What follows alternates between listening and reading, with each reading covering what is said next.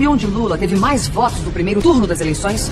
No presídio. Sabe onde Bolsonaro teve mais votos no primeiro turno da eleição? Bolsonaro é o mais votado no presídio da Papuda. Essa informação é verdadeira, eu vou colocar o link aqui para vocês. No entanto, ela passa uma ideia completamente diferente da realidade. A verdade é que nenhum preso transitado em julgado pode votar. Eles perdem o direito a voto, perdem os direitos políticos, tanto de votar como de serem votados. A verdade é que Bolsonaro mente o tempo inteiro. Quando você vê uma comemoração de presos, que por sinal não tem nada a ver com a eleição, é mais uma fake news da extrema-direita, essa comemoração não tem nada a ver com a eleição do Lula.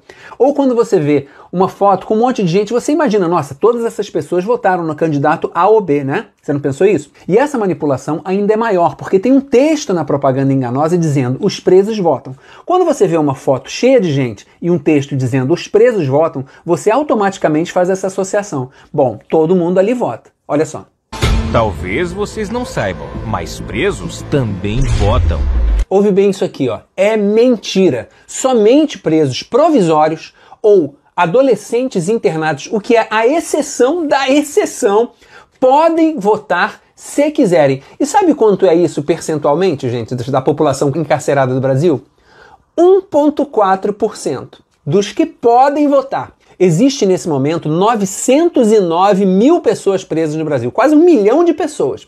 E somente podem votar 12.963. Podem, porque a maioria não vai. Você vê pelo dado que a gente tem de 2020, 99%, está aqui a matéria, não foi votar. Então é assim, a propaganda mentirosa de Bolsonaro pesquisa um local onde o Lula tenha ganhado e divulga. Assim como eu pesquisei e Bolsonaro ganhou no presídio da Papuda. Esses locais às vezes têm 40 votos válidos, 50 votos válidos, irrelevante.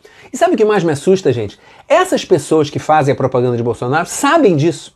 Sabem que é mentira? Essa pseudo-jornalista sabe da mentira quando ela fala isso aqui, ó. Sabe onde Lula teve mais votos no primeiro turno das eleições? Sabe onde Lula teve mais votos no primeiro turno da eleição? Ela sabe onde ele teve votos. A equipe inteira sabe. Foi no Nordeste, onde Bolsonaro teve 8 milhões e Lula teve 21 milhões. Então, eles sabem disso. Eles escolhem mentir para você. Se eu com apenas 10 minutos pesquisei e vi que presos condenados não podem votar, presos condenados não podem votar, e eles são 99% dos 900 mil presos, a equipe de Bolsonaro também sabe disso. Ela optou por mentir para você. A campanha de Bolsonaro é feita por pessoas que sabem que estão te enganando. Então, toda vez que você ouvir uma notícia que te pareça escandalosa, pega essa notícia, escreve ela no Google, seguida de fato ou fake. Por exemplo, 242 bilhões desviados da saúde pelo PT. Mentira. BNDES financia ditaduras estrangeiras. Mentira. Lula é a favor do aborto. Mentira! PT quer implantar banheiros unissex. Mentira! PT vai fechar igrejas. Mentira! Olha só, essa aí tá rodando desde 2003. É muita cara de pau, cara. Inclusive,